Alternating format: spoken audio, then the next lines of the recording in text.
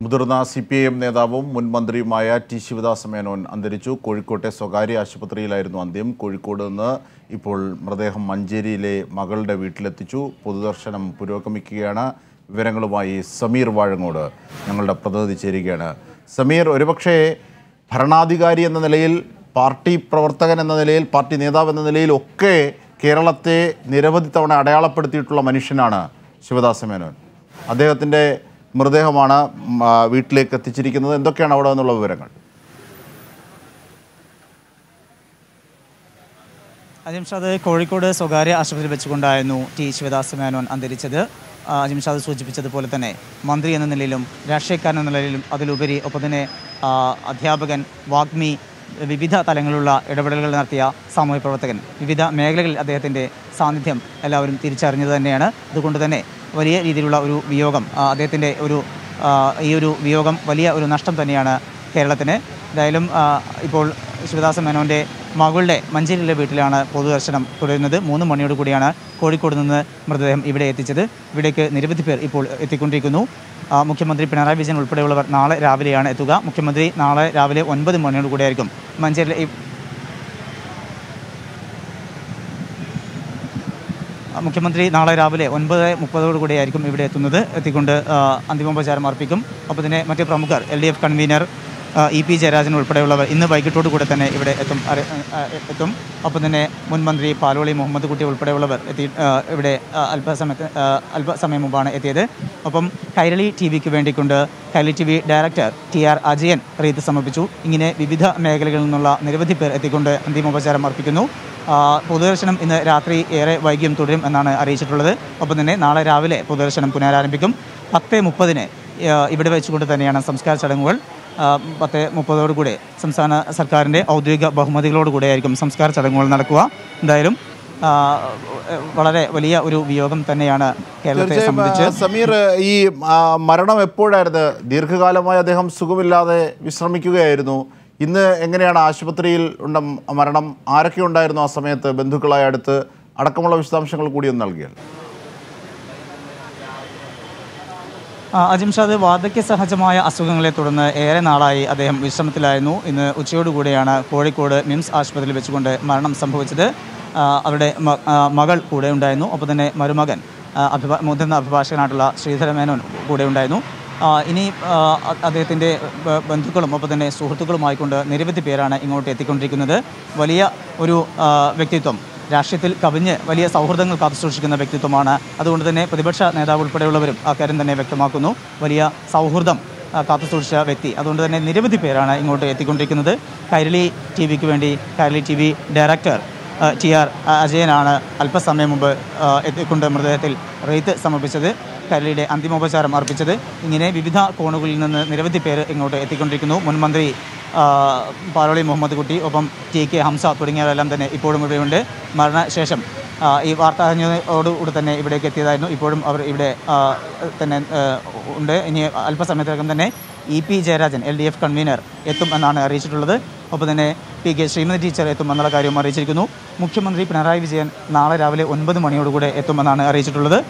രാവിലെ തിരുവനന്തപുരത്ത് നിന്ന് കരിപ്പൂർ എയർപോർട്ടിൽ എത്തുകയും പിന്നീട് ഇവിടെ മഞ്ചേരിയിലേക്ക് എത്തും. ഇവിടെ തുടർന്ന് മുഖ്യമന്ത്രി റീത് സമർപ്പിക്കും എന്നാണ് അറിയിച്ചിട്ടുള്ളത്. സംസ്ഥാന സർക്കാരിന്റെ ഔദ്യോഗിക ബഹുമതികളോടെ നാളെ രാവിലെ പത്ത് മുപ്പതിനായിരിക്കും സംസ്കാര ചടങ്ങ്.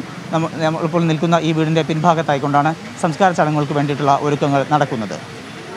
തീർച്ചയായും. അതായത് സമീർ ഈ ടി ശിവദാസ മേനോനെ അടയാളപ്പെടുത്തേണ്ടത് നിരവധി ഭരണകർത്താവ് എന്ന നിലയിൽ അദ്ദേഹം പെരുമാറിയിട്ടുണ്ട്. അദ്ദേഹം വളരെ അടയാളപ്പെടുത്തുന്ന പ്രവർത്തനങ്ങൾ നടത്തിയിട്ടുണ്ട്.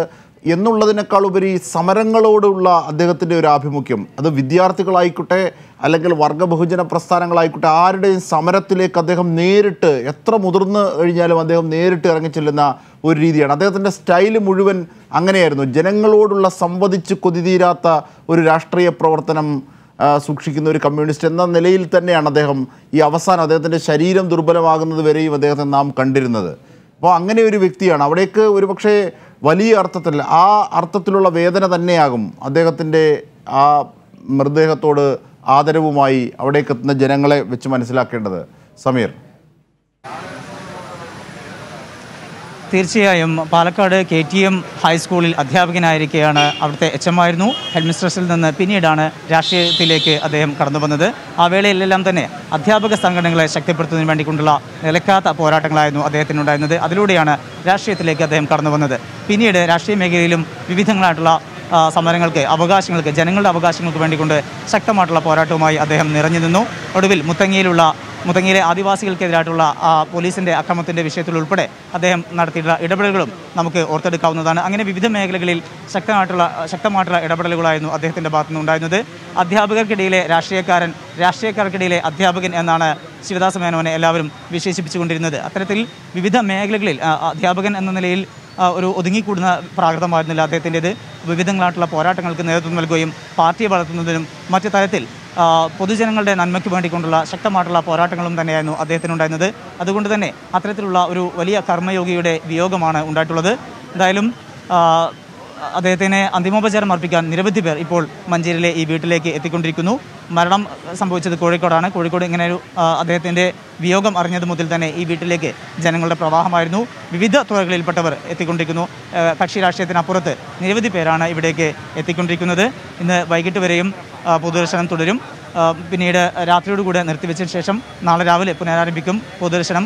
പിന്നീട് രാവിലെ പത്തരയ്ക്കാണ് സംസ്കാര ചടങ്ങുകൾ നിശ്ചയിച്ചിരിക്കുന്നത്. അതിന് മുന്നോടിയായിക്കൊണ്ട് മുഖ്യമന്ത്രി പിണറായി വിജയൻ ഉൾപ്പെടെയുള്ളവർ എത്തുമെന്നുള്ള കാര്യവും അറിയിച്ചിട്ടുണ്ട് അജിംഷാദ് തീർച്ചയായും ആ, സമീർ ഒരുപക്ഷേ ആ ആ അർത്ഥത്തിൽ തന്നെയാണ് ശിവദാസ മേനോനെ ഓർക്കേണ്ടതും. സമീർ സൂചിപ്പിച്ചതുപോലെ അധ്യാപകൻ ഭരണകർത്താവ് പൊതുപ്രവർത്തകൻ രാഷ്ട്രീയ നേതാവ് സമരങ്ങളുടെ നായകൻ എന്ന അർത്ഥത്തിലൊക്കെ മലയാളിക്ക് പ്രത്യേകിച്ച് ദൃശ്യമാധ്യമങ്ങളൊക്കെ വരുന്ന ഘട്ടത്തിൽ സമരങ്ങൾ നേരിട്ട് നാം കാണുന്ന ഘട്ടത്തിലൊക്കെ അവിടെ ഒരു വലിയ മുഖമായി കണ്ടിരുന്നത് ശിവദാസ മേനോനെയാണ്. അപ്പോൾ ആ അർത്ഥത്തിൽ എന്നും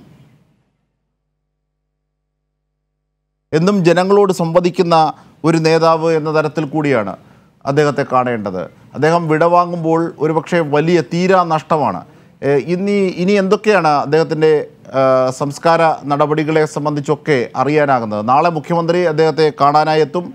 അതടക്കമുള്ള വിവരങ്ങളിലേക്ക് പോയാൽ.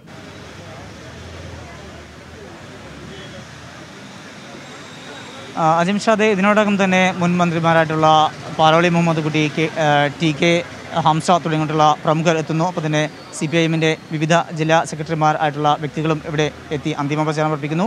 രാഷ്ട്രീയത്തിൽ കവിഞ്ഞ് മറ്റ് സൗഹൃദങ്ങളുള്ള വ്യക്തി കൂടിയാണ് ശിവദാസ് മേനോൻ. ഇവിടെ ഏറെ നാളായിക്കൊണ്ട് മഞ്ചേരിയിൽ തന്നെയായിരുന്നു താമസം. അതുകൊണ്ട് തന്നെ ഇവിടങ്ങളിലും വലിയ സൗഹൃദമുള്ള വ്യക്തിത്വം. അതുകൊണ്ട് തന്നെ നിരവധി പേരാണ് ഇങ്ങോട്ട് എത്തിക്കൊണ്ടിരിക്കുന്നത്. L D F convener E P Jayarajan വൈകാതെ തന്നെ ഇവിടേക്ക് എത്തിച്ചേരുന്നുണ്ട്. അന്തിമോപചാരം അർപ്പിക്കുന്നതിന് വേണ്ടിക്കൊണ്ട് ഒപ്പം തന്നെ പി കെ ശ്രീമതി ടീച്ചറും ഇവിടേക്ക് എത്തുന്നുണ്ട്. നാളെ രാവിലെ ഒൻപത് മണിയോടുകൂടെ മുഖ്യമന്ത്രി പിണറായി വിജയൻ എത്തിക്കൊണ്ട് അന്തിമോപചാരം അർപ്പിക്കും. പത്ത് പത്ത് മുപ്പതിനാണ് സംസ്കാര ചടങ്ങുകൾ. സംസ്ഥാന സർക്കാരിന്റെ ഔദ്യോഗിക ബഹുമതികളോടുകൂടി തന്നെയായിരിക്കും ഈ വീടിന്റെ തൊട്ടുപിറകിലായിക്കൊണ്ട് ക്രമീകരിച്ചിരിക്കുന്ന ആ സ്ഥലത്ത് വെച്ചുകൊണ്ട് സംസ്കാര ചടങ്ങുകൾ നടക്കുക. എന്തായാലും സമീറാണ് വിശദാംശങ്ങൾ നൽകിയത്.